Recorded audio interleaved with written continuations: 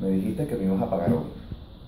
No, no, no, no. Tú y yo hablamos de un negocio y llegamos a algo. Tienes que ser responsable, me que me pagas hoy, hoy me pagas. No me interesa que te vayan a operar, me pagas hoy. Perfecto. Chao, mamá, te amo.